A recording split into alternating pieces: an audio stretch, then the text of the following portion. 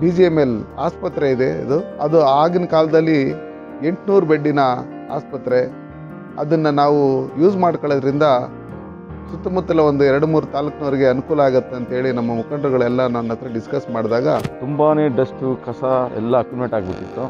ಅದಕ್ಕೆ ದಿನನಿತ್ಯ ಇನ್ನೂರಿಂದ ಇನ್ನೂರೈವತ್ತು ಜನ ಹದಿನೈದು ದಿವಸ ಕಸ ತೆಗೆಯೋದಾಯಿತು. ಯಾರಾದರೂ ನೋಡಿದ್ರೆ ಇದು ಹಾಸ್ಪಿಟಲ್ ಮಾಡೋಕ್ಕೆ ಸಾಧ್ಯವೇ ಇಲ್ಲ ಅಂತ ಹೇಳಿಬಿಟ್ಟು. ಎಲ್ಲರೂ ಸೇರಿ ಆ ಇಡೀ ಅದು ಐದು ಎಕರೆ ಕ್ಯಾಂಪಸ್ ಇದೆ. ಇಡೀ ಐದು ಎಕರೆ ಇದನ್ನು ಬರೀ ಹದಿನೈದು ದಿನದಲ್ಲಿ ನಾವು ಅದು ಕ್ಲೀನ್ ಮಾಡಿದ್ವಿ.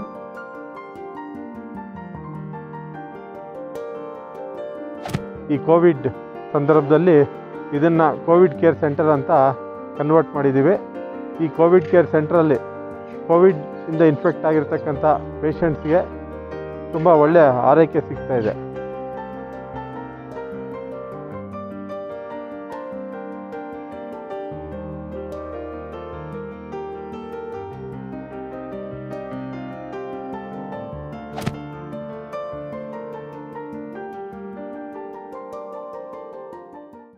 ಸುಮಾರು ನೂರ ನಲವತ್ತು ವರ್ಷಗಳ ಇತಿಹಾಸ ಇರುವಂತಹ ಬಿ ಜಿ ಎಂ ಎಲ್ನಲ್ಲಿ ಇವತ್ತು ನಾವಿದ್ದೀವಿ. ಸಾವಿರದ ಎಂಟುನೂರ ಎಂಬತ್ತರಲ್ಲಿ ಈ ಒಂದು ಹಾಸ್ಪಿಟ್ಲ್ ಇಲ್ಲಿ ಇತ್ತು. ಅದಾದ ಮೇಲೆ ಎಷ್ಟೋ ವರ್ಷಗಳ ಕಾಲ ಇದು ಕಂಪ್ಲೀಟ್ ಶಟ್ ಡೌನ್ ಆಗಿತ್ತು. ಇನ್ನು ಪ್ರಿಸೈಸ್ ಆಗಿ ಹೇಳಬೇಕಂದ್ರೆ ಕಳೆದ ಇಪ್ಪತ್ತು ವರ್ಷಗಳಿಂದ ಈ ಹಾಸ್ಪಿಟಲ್ ಕಂಪ್ಲೀಟ್ಲಿ ನಿಲ್ಲಾಗಿತ್ತು.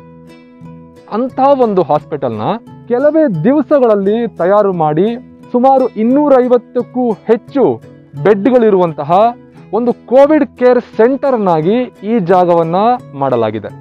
ಡೇ ಒನ್ನಿಂದ ಖುದ್ದು ಹಾಜರಿದ್ದು ಕೆಲಸ ಮಾಡಿದಂತಹವರೇ ನಿಮಗೆ ಈ ಹಾಸ್ಪಿಟಲ್ನ ವೈಶಿಷ್ಟ್ಯಗಳನ್ನು ಹೇಳ್ತಾರೆ. ನಾವು ಮೊದಲನೇ ದಿನ ಅದು ಸೀಲೆಲ್ಲ ಓಪನ್ ಮಾಡಿ ಒಳಗಡೆ ಹೋಗಿ ನೋಡಿದಾಗ ಒಳ್ಳೆ ಬೂತ್ ಬಂಗ್ಲಾ ಥರ ಇತ್ತು. ಯಾಕೆಂದರೆ ಇಪ್ಪತ್ತು ವರ್ಷ ಯಾರೂ ಅಲ್ಲಿ ಒಳಗಡೆ ಹೆಜ್ಜೆ ಇಟ್ಟಿದ್ದಿಲ್ಲ, ವಾರ್ಡ್ ಒಳಗಡೆ. ಸೊ ಬೂತ್ ಬಂಗ್ಲಾ ಥರ ಇತ್ತು, ಈ ಪಕ್ಷಿಗಳು ಓಡಾಡೋದು ಈ ಮಣ್ಣೆಲ್ಲ ನೋಡಿದ್ರೆ ಒಂದು ಮೂರು ಇನ್, ಮೂರು ಇಂಚ್ ಮಣ್ಣು ಇರ್ತಿತ್ತು ಕೆಳಗಡೆ.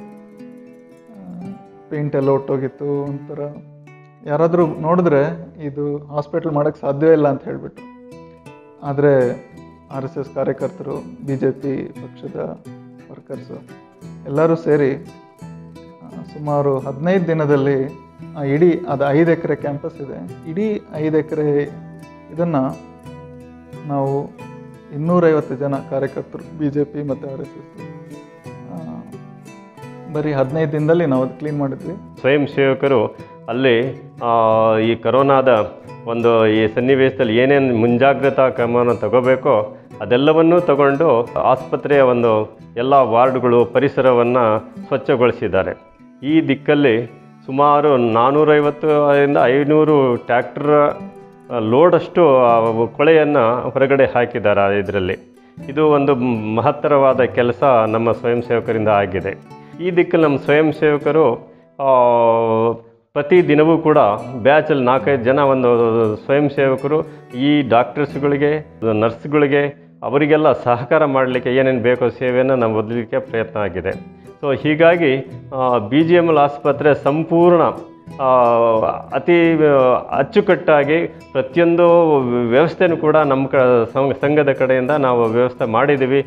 ಮುಂದಿನೂ ಕೂಡ ಇದೇ ರೀತಿ ಅದನ್ನು ಸೇವೆ ಸಲ್ಲಿಸಲಿಕ್ಕೆ ನಮ್ಮ ಕಾರ್ಯಕರ್ತರು ಆ, ದಿಕ್ಕಲ್ಲಿ ಜೋಡಿಸ್ಕೊಳ್ಳಲಿಕ್ಕೆ ಪ್ರಯತ್ನ ಮಾಡ್ತಿದ್ದೀವಿ. ಅದು ಆಗುತ್ತೆ.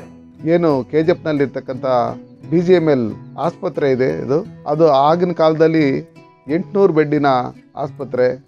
ಅದನ್ನು ನಾವು ಯೂಸ್ ಮಾಡ್ಕೊಳ್ಳೋದ್ರಿಂದ ಸುತ್ತಮುತ್ತಲ ಒಂದು ಎರಡು ಮೂರು ತಾಲೂಕಿನವರಿಗೆ ಅನುಕೂಲ ಆಗುತ್ತೆ ಅಂತೇಳಿ ನಮ್ಮ ಮುಖಂಡರುಗಳೆಲ್ಲ ನನ್ನ ಹತ್ರ ಡಿಸ್ಕಸ್ ಮಾಡಿದಾಗ, ನಾವು ತಕ್ಷಣವೇ ಕೇಂದ್ರ ಸರ್ಕಾರದ ಗಣಿ ಮತ್ತು ಭೂವಿಜ್ಞಾನ ಸಚಿವರಾದಂಥ ನಮ್ಮ ಪ್ರಹ್ಲಾದ್ ಜೋಶಿ ಸಾಹೇಬರಿಗೆ ಫೋನ್ ಮಾಡಿ, ಈ ಥರ ಇದೆ, ನೀವು ದಯವಿಟ್ಟು ಅದಕ್ಕೆ ಅನುಮತಿ ಕೊಡಬೇಕು ಅಂತ ಹೇಳಿದಾಗ, ನಾವು ಅನುಮತಿ ಕೊಡ್ತೀರಿ, ಸಂಬಂಧಪಟ್ಟಂಥ ಅಧಿಕಾರಿಗಳ ಹತ್ರ ನೀವೇನು ಲೆಟರ್ ಕರೆಸ್ಪಾಂಡೆನ್ಸ್ ಮಾಡಿಸ್ಬೇಕು, ನೀವು ಮಾಡಿ ಡಿ ಸಿ ಅವ್ರ ಕಡೆಯಿಂದನೂ ಮಾಡಿಸಿ, ಅದಕ್ಕೇನು ಖರ್ಚಾಗುತ್ತೆ ಎಲ್ಲ ನಾನೇ ಬರೆಸ್ತೀನಿ, ಒಳ್ಳೆ ರೀತಿಯಲ್ಲಿ ಮಾಡಬೇಕು ಅಂತೇಳಿ ನಮಗೆ ಅವ್ರ ಅನುಮತಿ ಕೊಟ್ಟಿದ್ದಾದಮೇಲೆ ನಾವು ಪಕ್ಷದ ಮತ್ತು ನಮ್ಮ ರಾಷ್ಟ್ರೀಯ ಸ್ವಯಂ ಸೇವಕ ಸಂಘದ ಎಲ್ಲ ಮುಖಂಡರುಗಳ ಜೊತೆಯಲ್ಲಿ ಕೂತು ಮಾತಾಡಿದಾಗ ಇದನ್ನು ನಾವು ನವೀಕರಣ ಮಾಡೋಂಥ ಕೆಲಸ ಮಾಡಬೇಕು ಅಂತೇಳಿ ಎಲ್ಲರನ್ನು ಡಿಸೈಡ್ ಮಾಡಿ ಇವತ್ತು ನಾವು ಇನ್ನೂರ ಇಪ್ಪತ್ತು ಬೆಡ್ಡಿನ ಏನು ಕೋವಿಡ್ ಕೇರ್ ಸೆಂಟರ್ ನಾನು ಮಾಡಿದ್ದೀರಿ, ಅದಕ್ಕೆ ಸಾರ್ವಜನಿಕರಲ್ಲಿ ನಾನು ಮನವಿ ಮಾಡ್ಕೊಳ್ಳೋದಿಷ್ಟೇ.